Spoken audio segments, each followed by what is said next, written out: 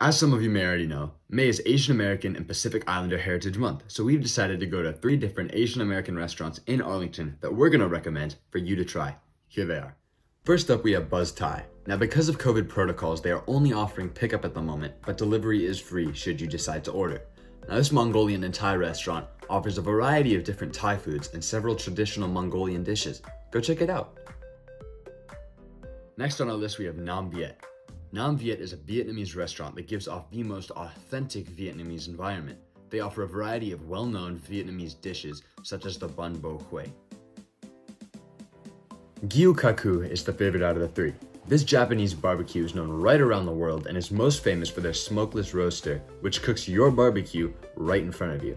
They're also very well known for their Japanese skirt steak, which is used across a plethora of Japanese dishes.